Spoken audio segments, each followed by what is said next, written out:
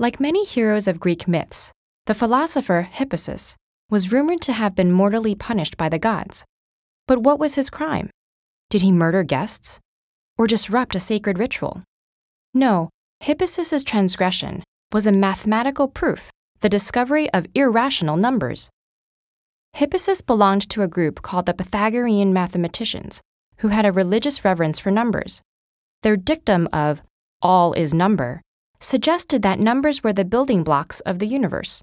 And part of this belief was that everything from cosmology and metaphysics to music and morals followed eternal rules describable as ratios of numbers. Thus, any number could be written as such a ratio 5 as 5 over 1, 0.5 as 1 over 2, and so on. Even an infinitely extending decimal like this could be expressed exactly as 34 over 45. All of these are what we now call rational numbers. But Hippasus found one number that violated this harmonious rule, one that was not supposed to exist. The problem began with a simple shape a square with each side measuring one unit. According to Pythagoras' theorem, the diagonal length would be square root of 2. But try as he might, Hippasus could not express this as a ratio of two integers. And instead of giving up, he decided to prove it couldn't be done. Hippasus began by assuming that the Pythagorean worldview was true, that root 2 could be expressed as a ratio of two integers. He labeled these hypothetical integers p and q. Assuming the ratio was reduced to its simplest form, p and q could not have any common factors. To prove that root 2 was not rational, Hippasus just had to prove that p over q cannot exist.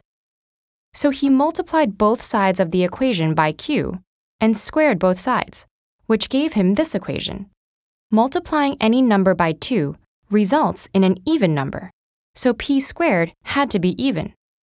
That couldn't be true if p was odd, because an odd number times itself is always odd, so p was even as well.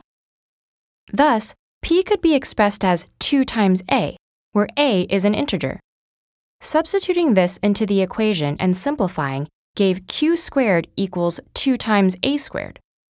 Once again, 2 times any number produces an even number, so q squared must have been even, and q must have been even as well, making both p and q even. But if that was true, then they had a common factor of 2, which contradicted the initial statement. And that's how Hippasus concluded that no such ratio exists. That's called a proof by contradiction, and according to the legend, the gods did not appreciate being contradicted. Interestingly, even though we can't express irrational numbers as ratios of integers, it is possible to precisely plot some of them on the number line. Take root 2. All we need to do is form a right triangle with two sides each measuring one unit.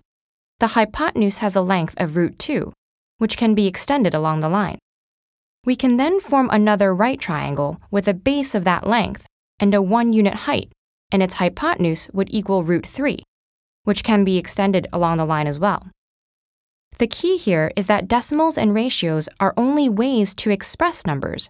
Root 2 simply is the hypotenuse of a right triangle, with sides of a length 1. Similarly, the famous irrational number pi is always equal to exactly what it represents the ratio of a circle's circumference to its diameter. Approximations like 22 over 7 or 355 over 113 will never precisely equal pi. We'll never know what really happened to Hippasus, but what we do know is that his discovery revolutionized mathematics. So, whatever the myths may say, don't be afraid to explore the impossible.